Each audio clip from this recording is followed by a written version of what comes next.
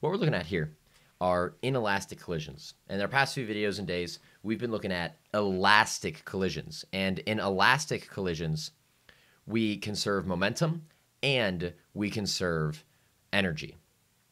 Inelastic collisions, or non elastic collisions, do not conserve energy. These are typically collisions where some amount of work is done on something after that collision happens or while that collision is occurring. Think of if you get into a car accident, you know, your bumper is ripped off of your car. Some amount of work had to be done on that bumper to do that. That's a loss of energy. You're not getting it back. Um, because of this, we have to approach these collision problems a little bit differently. We are still going to conserve momentum. That is still going to be a guaranteed play. But we can't conserve energy or work energy until after the collision. After the collision, we can do that, but before the collision, or rather during it, we're not allowed to do that. So, to look at an example of something that occurs like this, we have a ballistic pendulum. Now, ballistic pendulums are very interesting. Um, we used them for years in order to determine the velocity or how fast uh, very, very small but fast moving objects were traveling, um, i.e., bullets. Uh, if you shoot a bullet into a ballistic pendulum, the pendulum will rock back like this and lift up. It will gain some kinetic or some uh, potential energy due to gravity, and with that, and a little bit of mathematics that we're going to do, we can actually see how fast the bullet was initially traveling. So in this sample here, we have a 0.03 kilogram bullet. And even though we have a picture, I'm going to draw another one anyways. You know how I am with pictures. So here's 0.03 kilograms. And it's fired horizontally into a block of wood. Okay, and this block of wood has a mass of 0.45 kilograms it's suspended by, and normally they use like two long rods, but like whatever, it's just, it's suspended, okay? The bullet is going to stick into the wood. Like the bullet penetrates the block of wood, but it stays in there. And because of that, what ends up happening is the pendulum swings back. So this is going to be the 0.45 from before, but it also has a bullet trapped inside. So the total mass of this is actually going to be 0.48 kilograms here. Okay. And when this happened, this pendulum, this ballistic pendulum here, it actually rose up. It used to be at some height down here.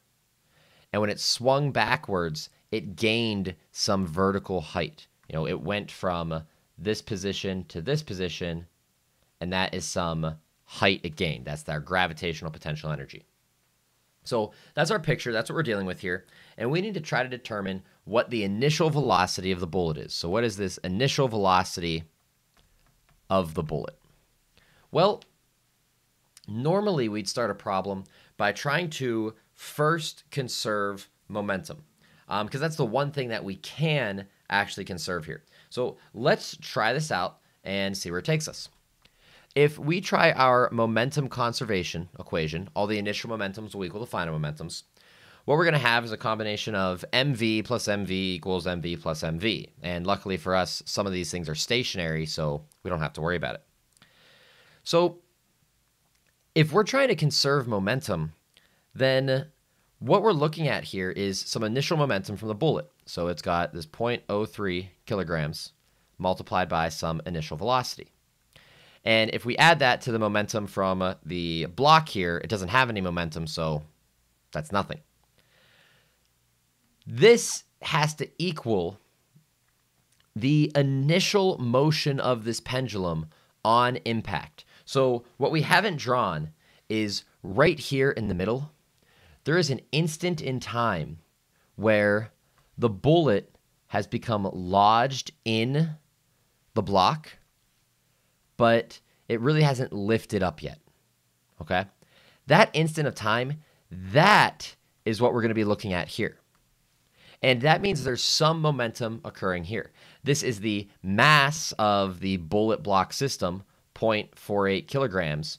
And then the velocity of this block bullet system, or we're going to call it the velocity of the target. Okay? This velocity of the target, we don't know that. And uh, we don't know that simply because we don't know the initial velocity of the bullet. We're going to have to figure that out. But we do know that whatever velocity this target had once that bullet finally became lodged inside of it, that velocity is what carried this system upward. That was this upward moving velocity here, or this velocity that allowed the upward direction. So we can't conserve energy, but when we look at our energy here, this velocity here of the target, that was the velocity after the bullet bored through and it, you know, we lost some energy due to the work of that bullet boring through. But that velocity is very helpful because this velocity here is like the initial velocity of when that ballistic pendulum starts to swing upwards. So what we can do here is we can actually say this. We can use um, a combination of kinetic energy and potential energies. When that bullet is lodged in at the bottom, that block bullet system now has some velocity there. And if we look at that velocity as a kinetic energy, we can say it's got some 1 half times the mass of 0.48 times this block bullet target velocity squared. And because it is at what we're going to call the bottom, and we'll call this bottom the reference position, there's no kinetic energy there. When it swings to the top, the block and bullet come to rest. They're at like their maximum height. So there's no kinetic energy there. But what we do have now is a gravitational potential. We have an MGH. And since that's the mass of both the block and the bullet lodged together, that's going to be 0.48 multiplied by gravity, 9.8 multiplied by the height. And in this problem, we were given that height. It swings 0.7 meters above its initial level. So that's 0.7. So what we're actually going to do now is we're going to work this problem backwards. We're going to solve for VT, plug it back into the momentum equation, and then solve for our initial velocity of the bullet before it lost that energy. So if we go ahead and do this, uh, we'll have to solve for this VT first. Um, in order to solve for VT, uh, an interesting thing we see is that because the kinetic energy is just 1 half mv squared, these masses are the same, so the 0.48 went away here. So the only thing we really have to do is multiply by 2. So we get VT squared equals 2 times 9.8 times 0.7. And then to get rid of the square, we know that we can just take the square root of that. Interestingly enough, this equation ends up looking as the square root of 2g delta h, with, if you know anything about fluid dynamics, this is actually the same setup for Torricelli's equation in the AP Physics 2 class. And that's because Torricelli's equation, which is derived from Bernoulli's, is really just a conservation of energy equation, which is exactly what we just did. So this idea comes back for other physics topics. But we now have the VT here. And we can say that the uh, target velocity after that bullet has got lodged in is some value there. And we're just going to kind of leave it like this for a second. We're just going to carry it through. Okay. So if now we want to figure out, look, we've got VT, let's plug it back up into our momentum equation here. We can write the following.